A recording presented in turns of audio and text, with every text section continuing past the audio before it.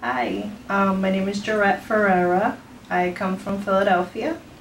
Um, I'm here for the sleeve, gastric sleeve surgery. Um, it's been a great experience. Um, I anticipated uh, a little struggle with the traveling because there are um, situations going on, but it was actually really, really good. It was a smooth um, trip here. Um, I, I, I was a little scared about the surgery, but I had no pains.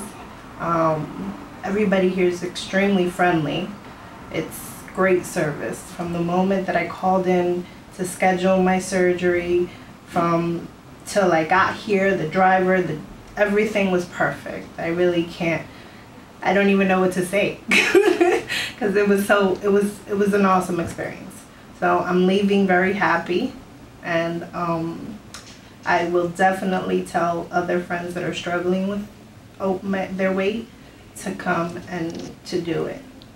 I would definitely tell people to do it.